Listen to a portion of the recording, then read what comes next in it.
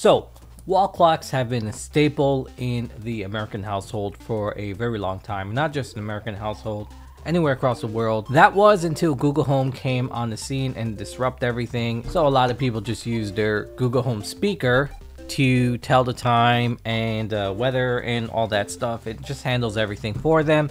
And so they don't really have a need for wall clocks anymore. So they haven't been given the love that, uh, you know, I think that they deserve. So like if you go on a Google search right now and you type in smart wall clock, the first suggestion that uh, Google is going to give you is probably an atomic smart wall clock that can just change the time whether you spring forward or fall back uh, it'll change the time for you so you don't have to worry about setting the time at all. Plug it in, turn it on, and forget about it. And then the second smart clock you probably will come across is the one from Amazon, which in my opinion is not very smart. It links to your Amazon account and then it just has some LED around the bezel that light up to show like a timer that you have active. I thought this was a step in the right direction, but of course, in my opinion, Amazon dropped the ball and they didn't really follow up with a smart wall clock uh, version 2 because they didn't get enough love for the wall clock in order to progress it forward. I did find a company that um, is looking to shake things up. This company is called Nexttime and they make the Glance Smart Wall Clock. Now this is not a sponsored video. I found this, I purchased this myself because, you know, I'm not willing to give up on the wall clock. I want a wall clock in my house, but I want it to be smart. You know, I want it to match everything else in my house. Everything pretty much is smart in my house. So I thought this would be a nice addition um, to my house if it does work. I don't know if it works yet. You know, I didn't really read up reviews on it. So uh, this is going to be a first time thing for me. And uh, together, we'll embark on this journey and see just how smart this wall clock really is. All right, so some of the things it does uh, starting right here, we have calendar, weather, call and messages, time, smart home. That right there um, is everything I want in a small clock, or at least everything I feel like a smart clock needs. And so on the back here, wireless sync, you have calendar, time of course, smart home, call messages, and weather. You remember back in the day, every time time would spring forward or fall back, you would have to pull out the ladder, climb up, and get your wall clock and set it manually. Yeah, so you don't have to do that with this. I would hope you wouldn't because after all, it is a small clock. I don't consider Bluetooth products to be smart. I mean, because they're really dumb products that rely heavily on your phone. So let's open up the box here, see what we got. Looks like a naked wall clock. Is this fabric? Well, let's open it and see. So it is fabric. We have a rubberized back. It's not entirely huge. Okay, and then on the back, we have your mounting. And then on the bottom, of course, that's where you plug it in. This is the silver model. They do have a graphite version. Uh, we have a quick start guide, a wall plug, uh, mounting hardware. This goes into the wall. And then a decently sized power cord. Let's go ahead and plug this in and get it get it running here. Okay, first thing we need to download the app from the app store. So I got my phone right here. Uh, we're gonna create an account here. Um, it's time to turn your glance clock on. Okay. So let's go ahead and open this wire here. Just gonna go ahead and plug it in on the bottom here like that. And there's apparently this button right here is the power button so long push it maybe? There we go. Oh there is a speaker on it. Oh. Let me take off the light here so you can see better interestingly enough this clock is rechargeable there's a battery on it so it doesn't have to stay plugged in. You can, um, you know, you can hang it up in somewhere where you don't have a power outlet, and when the battery dies, you can just take it down and charge it. Um, or you can figure out a power solution for where you're going to install it. So the choice is yours. So I didn't know that. I didn't know there was a battery on it. So that's pretty cool. And the app will tell you the level of the battery. Let me go straight into the app here. So, all right, we turn on the glance clock. Let's pair a phone with glance clock. Okay, connect. Could not pair clock. Problem connecting clock. Error connection error. Please check that your glance clock shows clock phone animation. Okay, so the clock is still doing this thing here. So I think it's still trying to set itself up. So I gotta wait until I see a clock phone animation. Uh, th there is some concerns here, like this, the back of this clock is not in the best condition. It looks used. This clock looks used.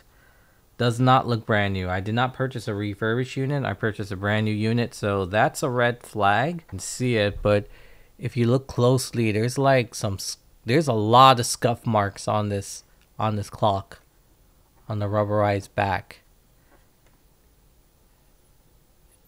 And at first I thought maybe it was because of shipping, but no, these these these scuff marks are definitely like look at this one here. I just pulled it out of the box. Like why would there be a scuff mark around there? I'm not seeing any stains or anything like that on the cloth face itself, so that's good. I'm starting to wonder if I received a defective unit because this thing passed the 10 o'clock mark and it's going around in circles again.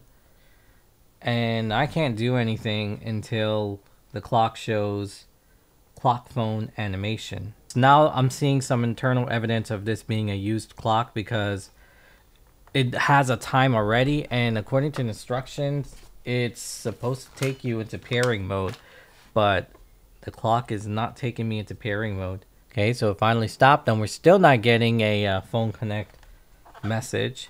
Yep, it's not going into pairing mode, so yeah, this is paired to somebody else's phone. So right here, where that hangs, there's a button to reset it. So let's go ahead and reset it. And I'm definitely going to reach out to the company and let them know they send me a used clock. And I'll report back on how well they handled the situation. Just did a bunch of combinations, but I finally got it to show up. That's the icon that I need. Let's try and pair it now. Enter code to pair. We got done. It says connected. All right, and this is how the wall clock shows, um, you know, in dim light. Um, I'm going to go ahead and I'm going to set this up where I want it after it charges. And I'm also going to reach out for the company and let them know what they sent me and report back just how functional this smart wall clock really is. Stay tuned. Happy birthday, Stanley!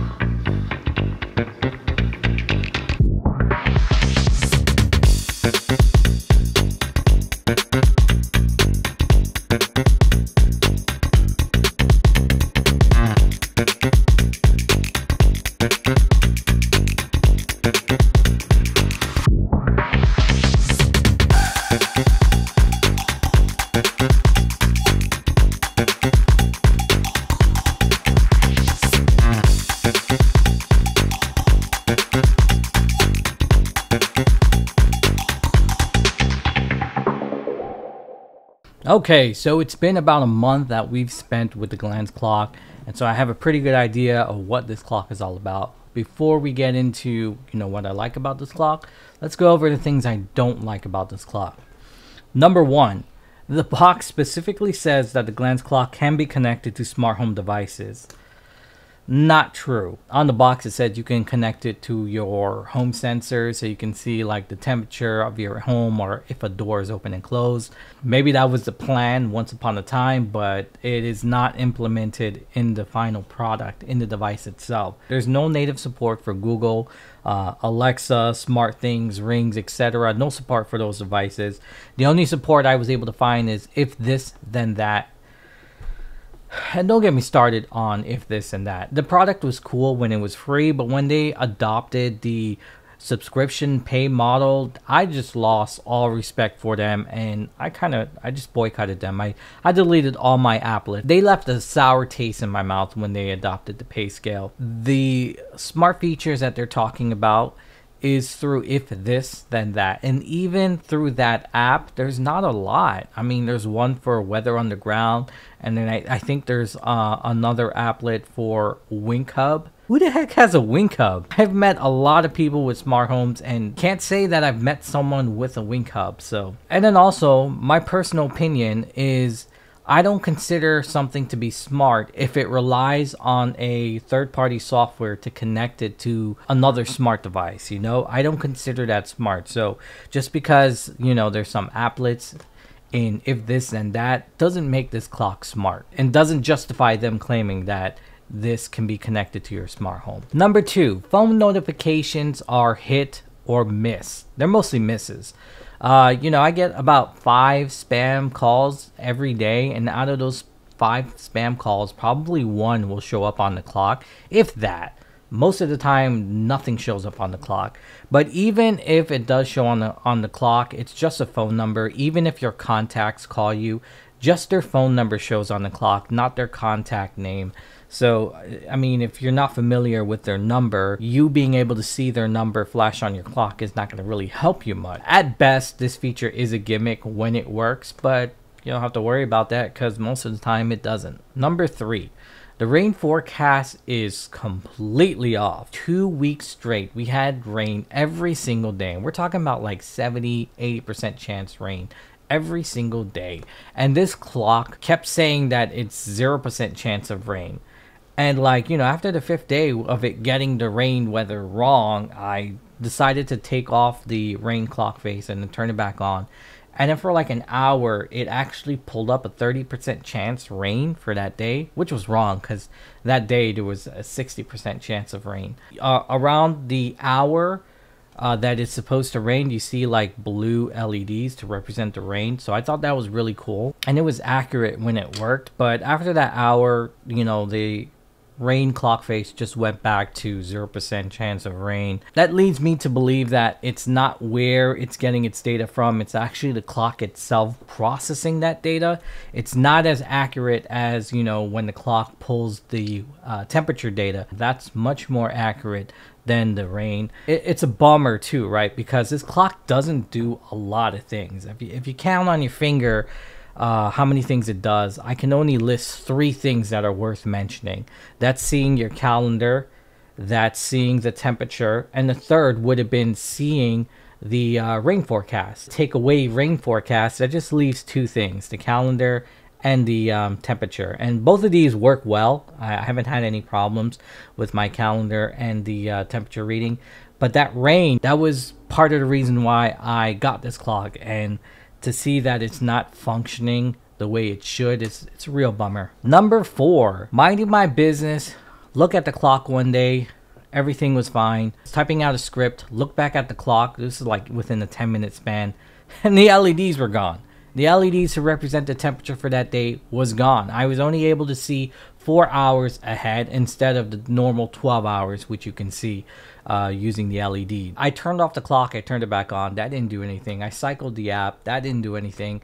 The only thing I was able to do is just leave it alone, and then the next day it self corrected. Number five, the app is extremely buggy. I don't like this app. This has got to be the worst app I've used.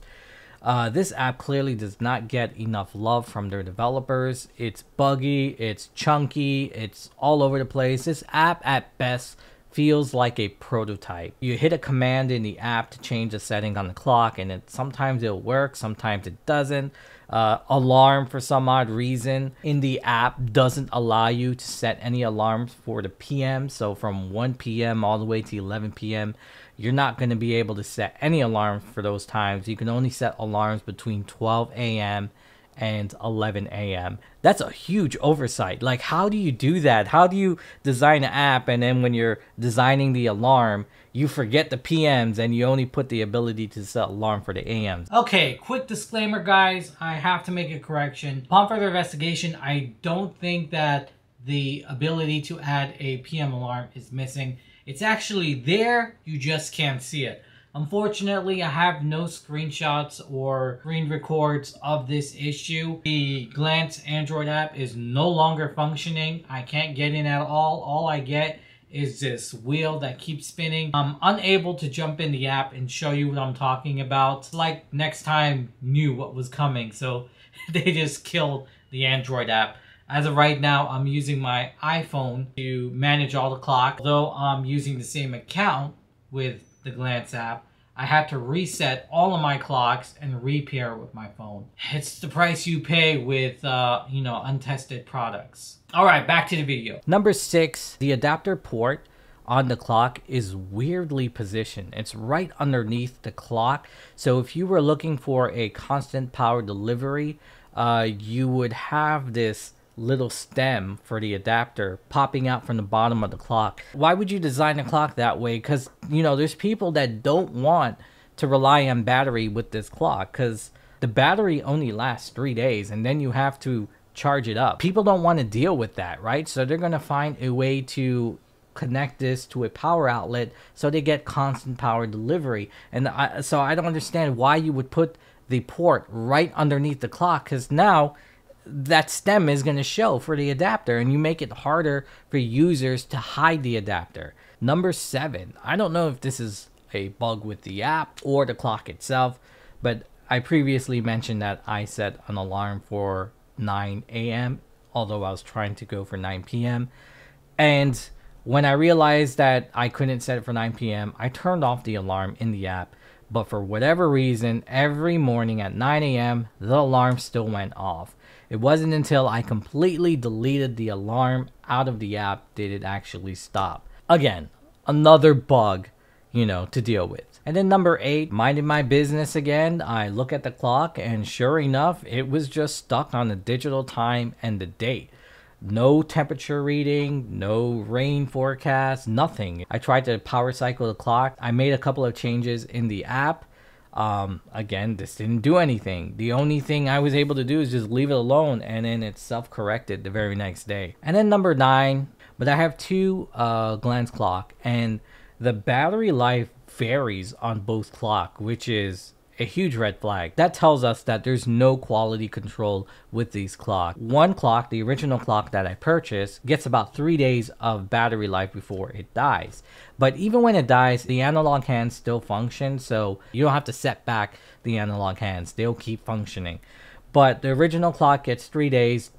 I got a replacement clock sent out to me by Nexttime, and this clock only gets 24 hours before it dies. That, that, that's a huge difference. It's a little bit alarming because now, apart from all these bugs, if you actually want to take a risk and buy the clock with all the bugs, now you got to add flipping a coin because you don't know what you're going to get. You don't know if you're going to get uh, a clock with the battery lasts three days or a clock where the battery lasts 24 hours. I was uh, hugely disappointed when I discovered that because that just cemented the fact that there's no quality controls with these clocks. So now let me talk about why I had two clocks. So earlier in the video, you saw that, um, you know, I had a little bit of concern about the back of the clock being scuffed up and so I thought the clock was used. I did file a dispute with uh, PayPal and the company responded to me within PayPal. They told me that they're sorry, this never happens, and that, you know, they'll send me out a new clock. So a week later, I got that clock and um, I opened it up, and sure enough, this clock has scuff marks worse than the first one. It's just ridiculous. Like, how do you have such poor quality control? And like, Nexttime is not some kind of B-rated company, right? They're they're a big company that makes a lot of home clocks. They really need to up their quality control because their quality control is terrible. Battery life, the back is scuffed up you know, the clocks are riddled with bugs. The best way to sum up this clock is that it looks like a finished product to the eyes, but when you start using it, it operates like a prototype. And this clock isn't cheap, it's $170. After all that bashing, I do have to say though that this clock, when it does work, um, it's actually a, uh, a welcome addition to our family. Like my kids enjoy looking at the clock and they understand how to read to get the temperature reading for outside. So they have no issues predicting what the weather is going to be like in an hour or two. I wish other clock manufacturers that designed wall clocks thought of this because it makes sense. Why wouldn't you do that? At first, it was a little daunting. I didn't understand how to read it, but it, within no time, you know, I'm predicting what the weather is going to be like in five hours just by some colorful LED lights. Here's a picture of the clock uh, when it was showing that um, it was going to rain. Forget, ignore the 0% because that was wrong. But look at the blocks. That represents when it's going to rain. And of course, if you have one block, that's like a little bit of rain. But if you have like three blocks, then that's a lot of rain. So I can just look at this, right? The time now is showing is 220. So it's 220. And just by looking at this clock for five seconds, I can tell that it's going to rain heavy at 8 o'clock. And so the temperature as well. It's the same thing with the temperature. Here it's uh, almost 12 o'clock, 12 p.m., so afternoon. Uh, just 5 seconds looking at this clock, I can tell that from 6 a.m. to about uh, 11 a.m. it was the coolest that you were going to get before it started getting hot. So around 1 o'clock, that's when it's going to be its hottest. And then around 2 o'clock, the temperature is going to drop until about 5 where it's going to raise a little bit. And then, you know, if I want to do some lawn work, the ideal time would be about 6 o'clock because that's when the temperature will drop off. If I don't necessarily need daylight, but I want to work when it's at its coolest, I can see right here at the clock that 8 o'clock it's going to be the coolest. And so my entire family loved this clock. The idea is good. The implementation, not so much.